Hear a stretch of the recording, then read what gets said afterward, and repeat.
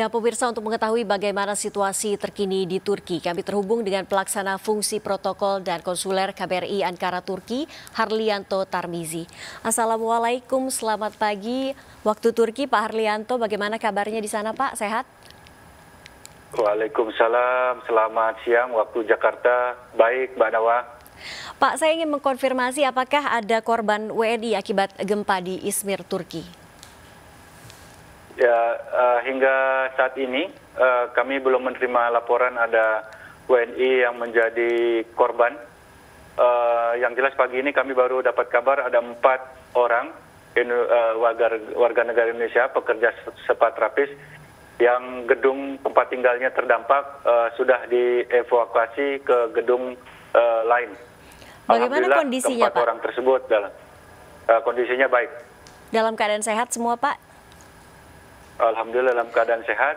Uh, kami juga dapat sampaikan ini kami sekarang ini uh, dengan eh, teman-teman uh, di Izmir sedang berkomunikasi melalui WA grup yang kami siapkan untuk uh, dapat memudahkan kami monitor kondisi.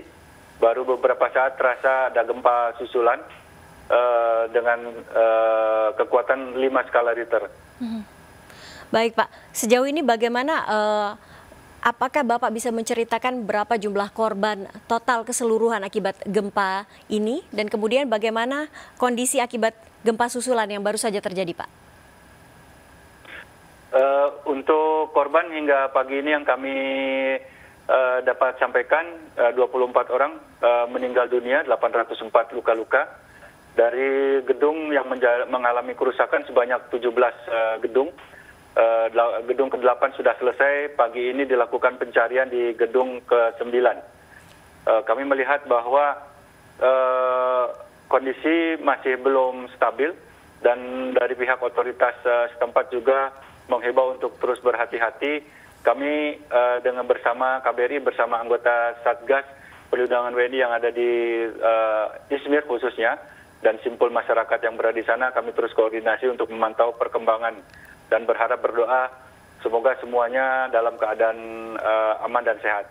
Baik, titik pusat gempa susulan di lokasi yang sama, Pak, dengan gempa yang kemarin ya, terjadi? Di, ya, di lokasi yang sama, eh, tempat-tempat uh, di sekitarnya. Memang ada beberapa tempat uh, selain dari kota Izmir sendiri, kota-kota yang berada di pinggir pantai. Baik, Pak Harlianto boleh disampaikan Pak mungkin hotline yang bisa dihubungi warga negara Indonesia yang membutuhkan bantuan di sana Pak? Ya, uh, hotline KBRI Ankara uh, dapat dihubungi uh, di nomor plus 90 532 135 2298. Uh, kami ulangi uh, plus 90 532 135 2298.